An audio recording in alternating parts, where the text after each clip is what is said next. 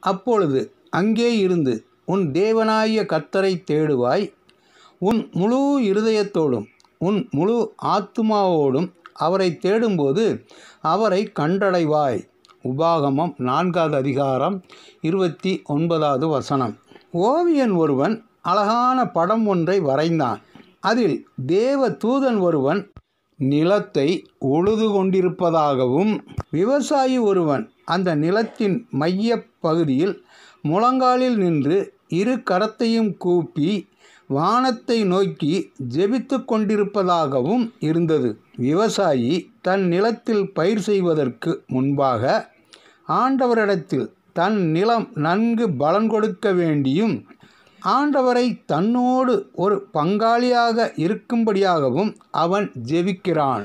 அப்போது ஆண்டவர் தன் தூதனை அனுப்பி விவசாயி செய்ய வேண்டிய வேலையை தூதனை கொண்டு செய்து உதவுகிறார்.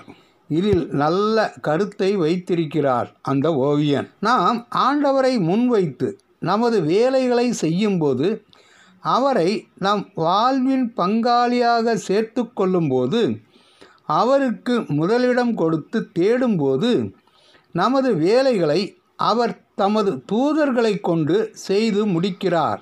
ஆண்டவரோடு செலவிடும் நேரம் ஒருபோதும் வீணாக இருக்காது. எவ்வளவுக்கு அதிகமான நேரம் அவரோடு வேதம் வாசிப்பதில் ஜெபிப்பதிலும் தியானிப்பதிலும் செலவு செய்கிறோமோ அவ்வளவு அதிகமாக நமது வேலையை நமக்கு இலகுவாக்குகிறார். அவரே அதை செய்து முடிப்பார்.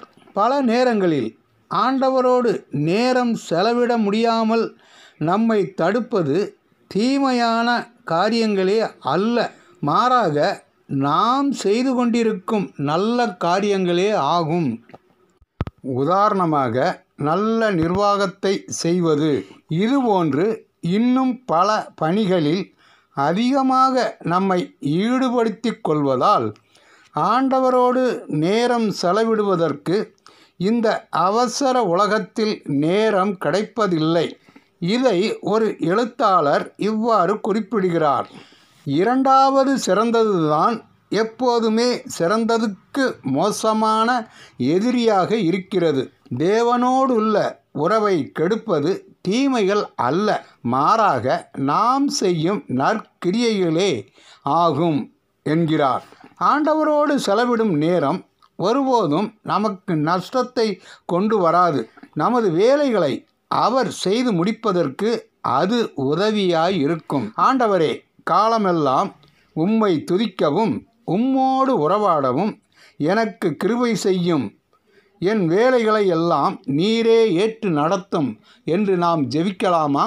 ஆண்டவர்தாமே நம் அனைவரையும் ஆசீர்வைப்பாராக.